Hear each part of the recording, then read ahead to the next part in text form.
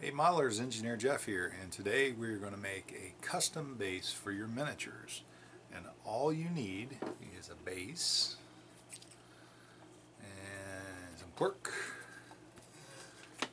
and some glue and then maybe some kind of sand or ballast or something like that. Let's get started.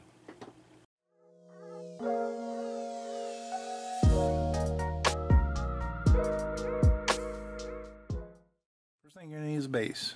This is a Games Workshop, I don't know, I guess these are maybe 40 mil? that's a 32 mil, so you can kind of get a size comparison there, if you can see it. And it needs to, your model needs to fit on your base. So that looks like it's going to be fine. What I actually did, I basically cut the bottom off and accidentally lopped off a couple, couple toes there, so but that'll be covered up in snow maybe. So base, minute, fits miniature. Then find yourself some cork. So this is, I don't know, quarter inch. And this is probably close to half inch. Little bigger chunks. Smaller particles. Two different types of texture basically. And we're just to take a piece. Going to break a chunk off and grab some some kind of uh, heavy like Zap-A-Gap uh, cyanoacrylate whatever they call this stuff. It's basically a, a just a, a, a I'll link where you can get Zap-A-Gap in the description field down below.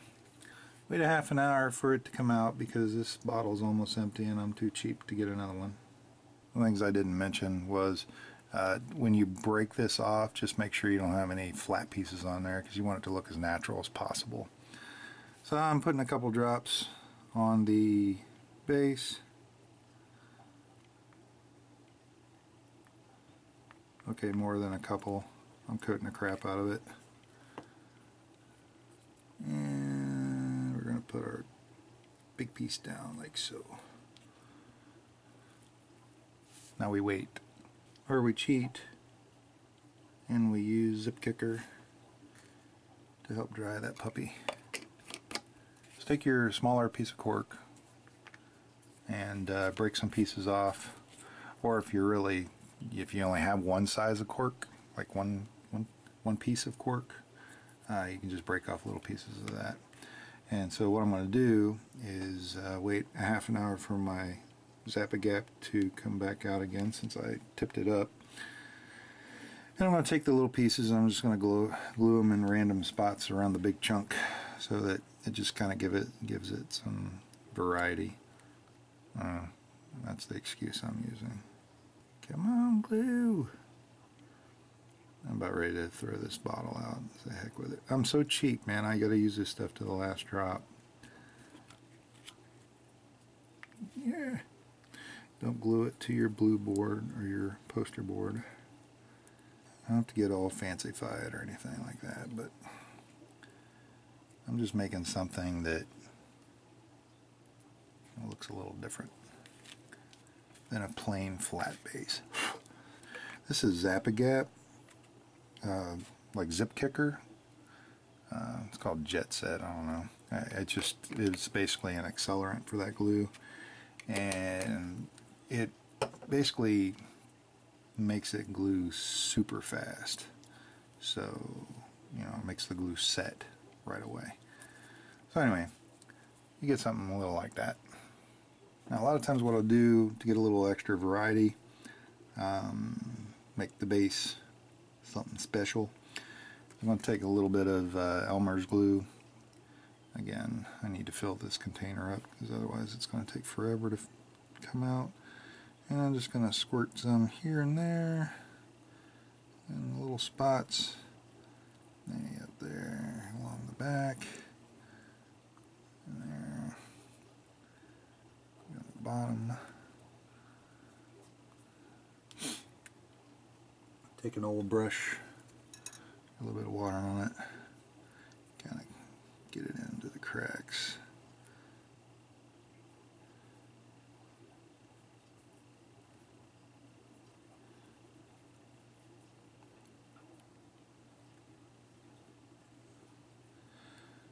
Just gonna put it all over.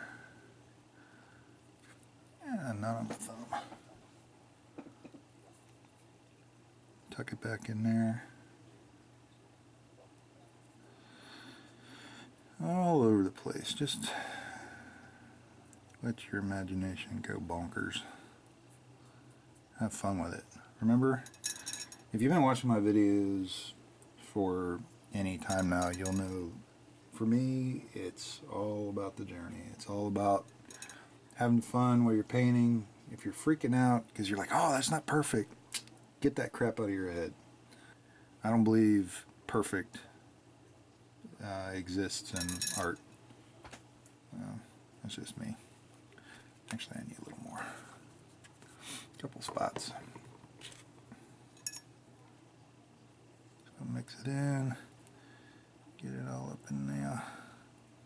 Alright, so we put the glue down so that we can dunk it in this beautiful tub. It's got sand in it and pieces of aquarium gravel and there's some dirt chunks and this is my basically my ballast mix. This is something that I use to um, anytime I'm wanting to put you know some kind of texture on my base. For example, this one.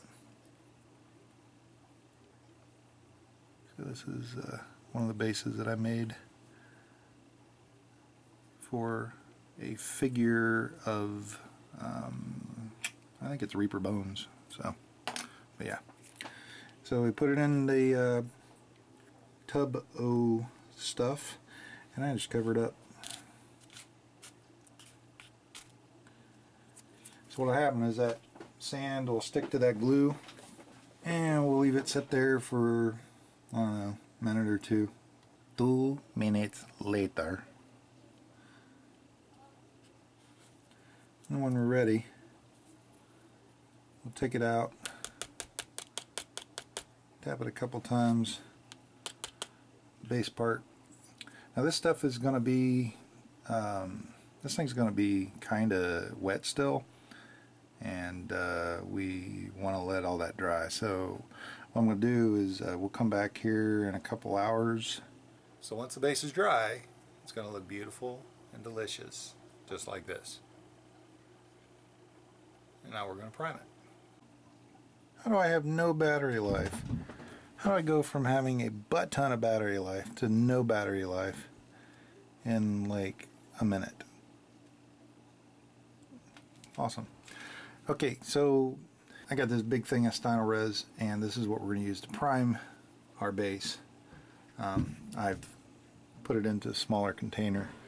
Um, I highly recommend Stynylrez primer because, uh, well, I've made a video review of that, so you can go look at my past videos and you can figure that out. Anyway, so I've got what I do is I buy it in the big size. I'll put a link in the description field down below. Um, it's fantastic. The perfect prime every time. Trust me, you'll dig it. And uh, so I take it out of the big one and put it in a small one, and this is how I dole it out. So I'll put it in my airbrush, and we'll prime this bad boy up. And once it dries, I'll show you what we do next. Also, make sure you use a respirator when you're anytime you use an airbrush. I got a link in the description field down below for this thing too. I've had enough res upper respiratory infections because I do a lot of airbrushing and getting down here and getting the fumes and everything and thinking I'm fine and the next day I wake up hacking up a bunch of lung butter and that sucks because then I can't paint because um, I feel bad. So use a respirator when you paint. So once you're all, you know, everything's dry, you get something that looks a little like that. Course, it looks like a big chunk of coal right now. We're going to fix that. Get yourself some gray color of some kind. I'm just going to use this Troll Blood highlight. Um, I like any kind of dark gray color, but this is what I got handy right now.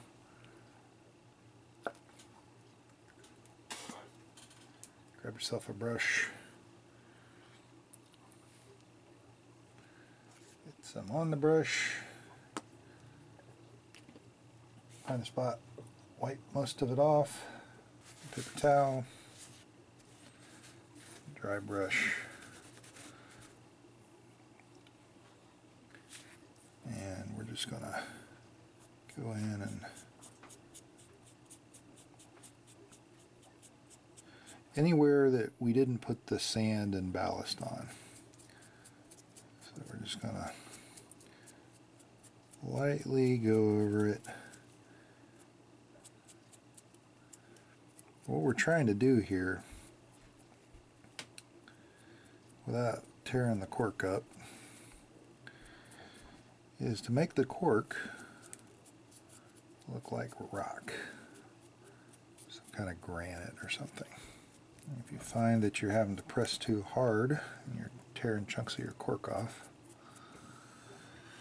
go back to your paint, get most of it off,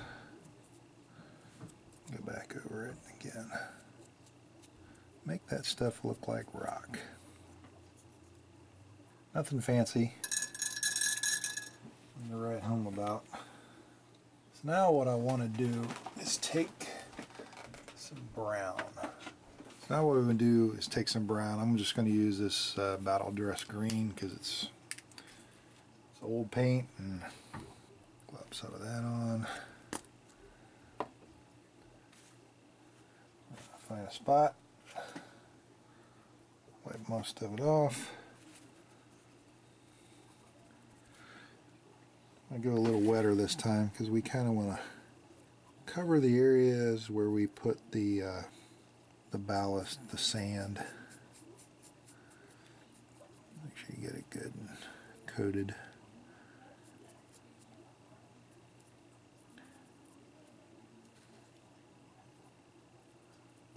I'm going to take my handy dandy hair dryer to speed up the process.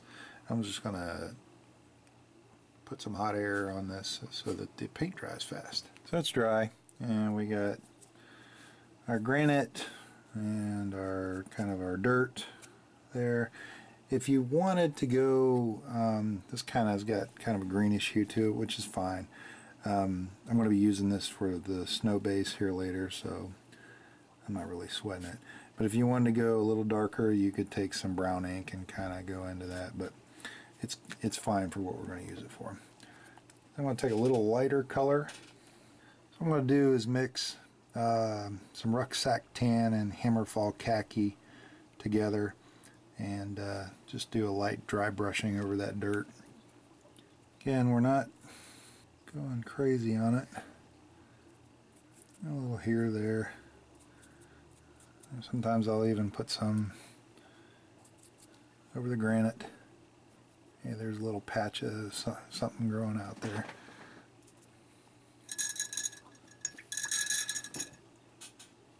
So get a little something like that. It's not a flat base. Yeah, go back in and get a couple spots that I missed. Finally, we'll take some Menoth white base. A little bit of that on there. I'm not even rinsing this thing off. I'm just going after it. And uh, you know, lightly go into a couple spots here and there. I'm very much a back and forth painter. Um, and I kind of hit some of these edges with that Menoth white on the granite.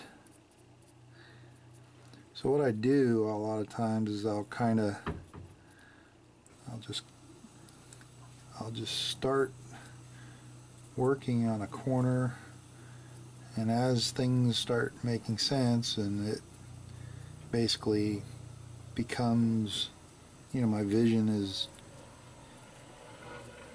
hello helicopter getting clearer in my mind I just keep rolling with it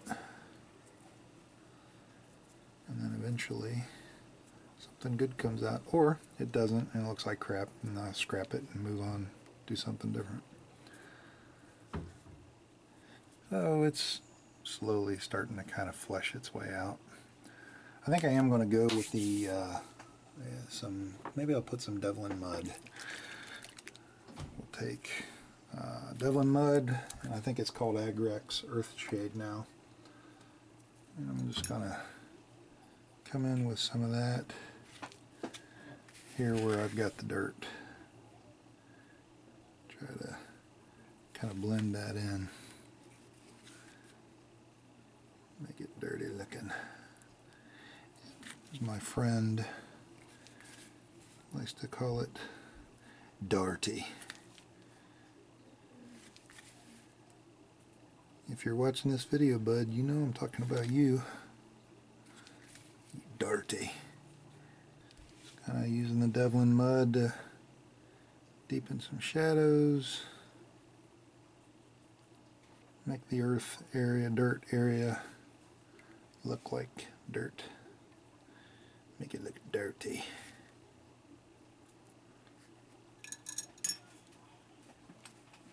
Let that dry. And we'll come back with another color. So when it's dry, you get something like that. A little more organic. So I mean, you could technically call this done.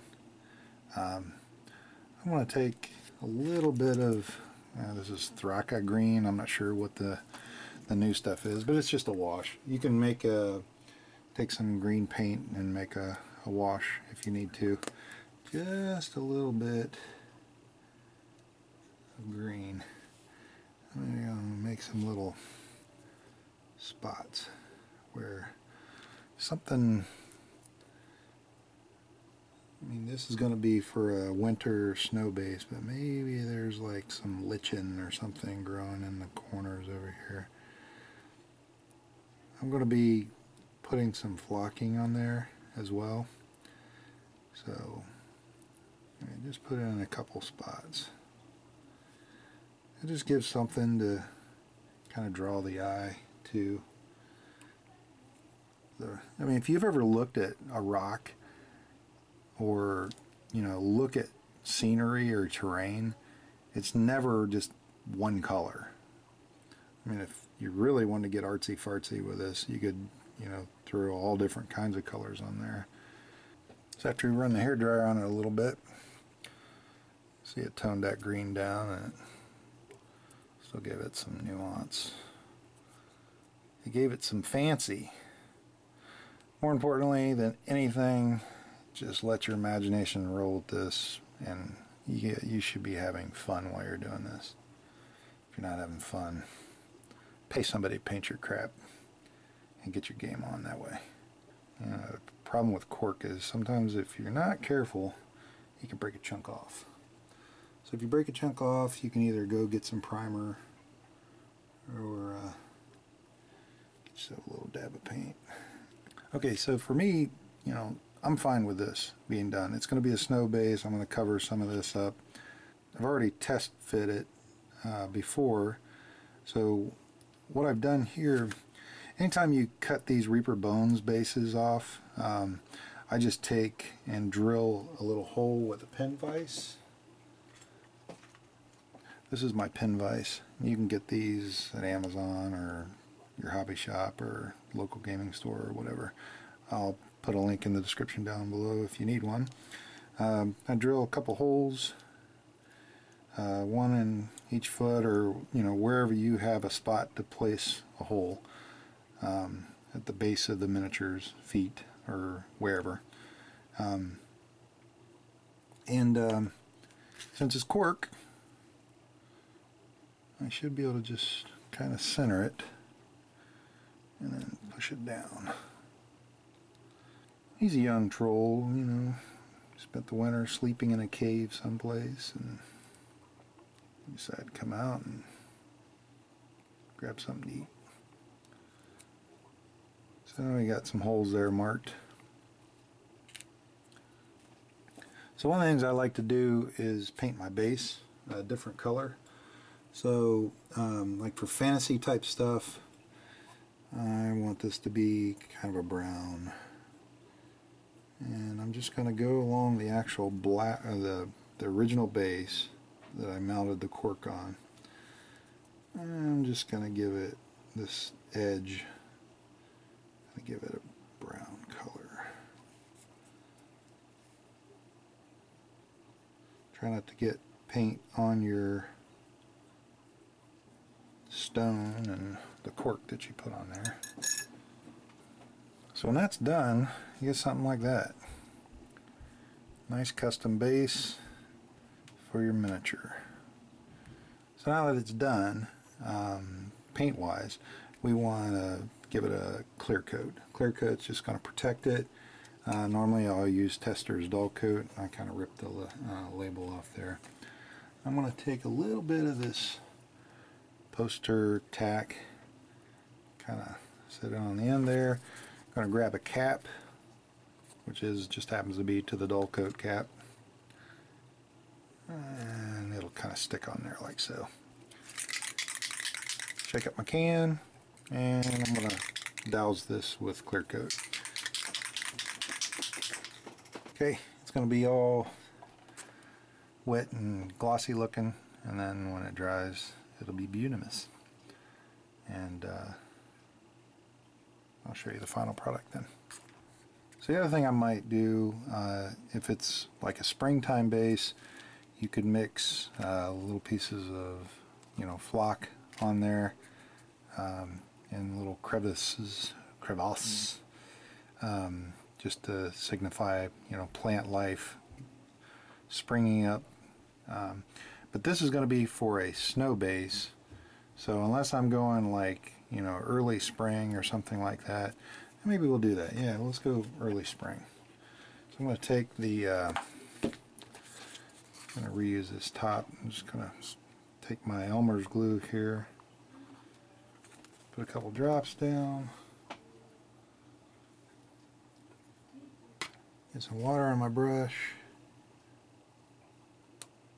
Looks like I still got some paint in there. So if I'm a if I'm a little patch of plants on this, you know, where do I want to grow?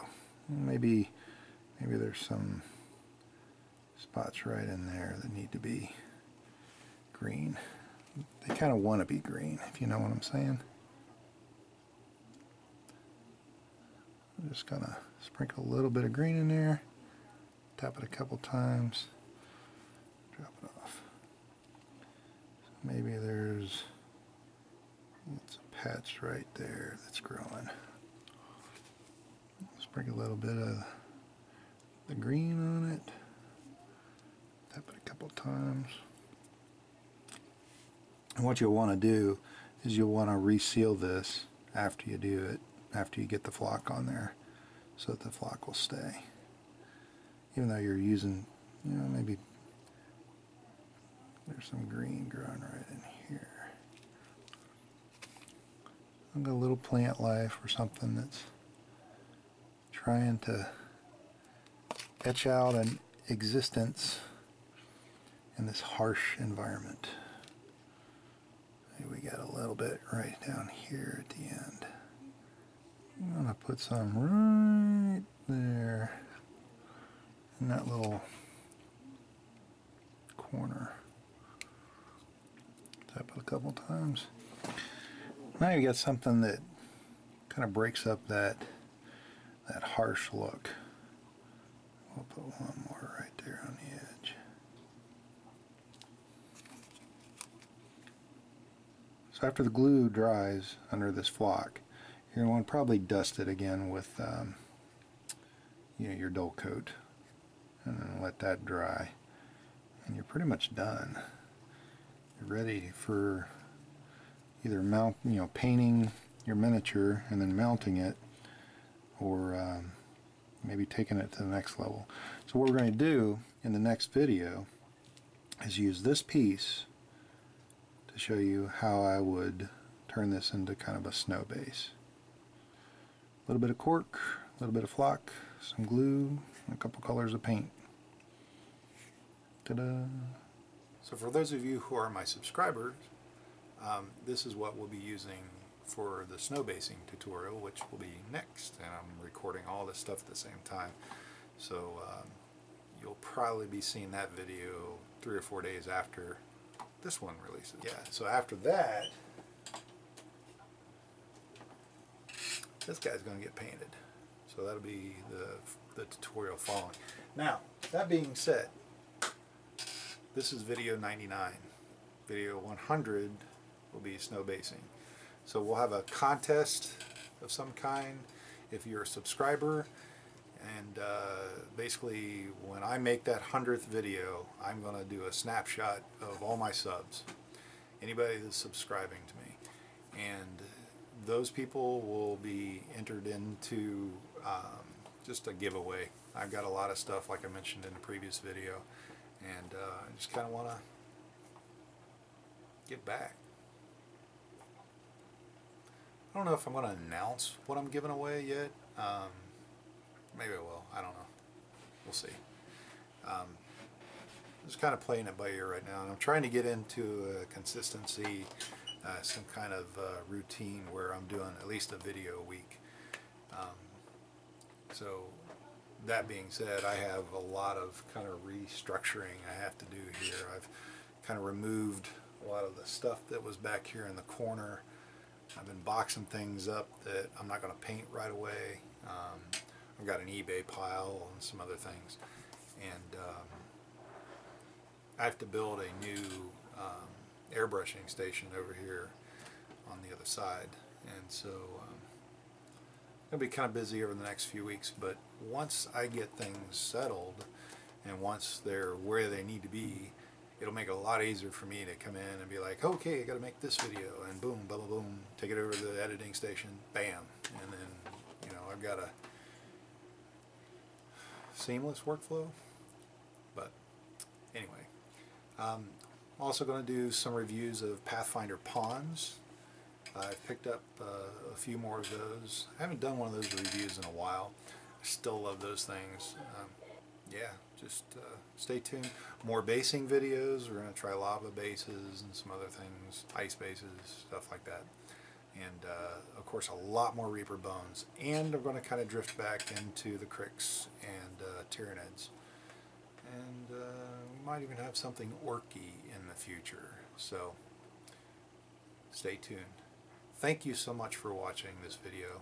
If you dig what I'm shoveling, give me a big thumbs up and uh, like it and share it and of course subscribe and we'll see you in the next video. Peace.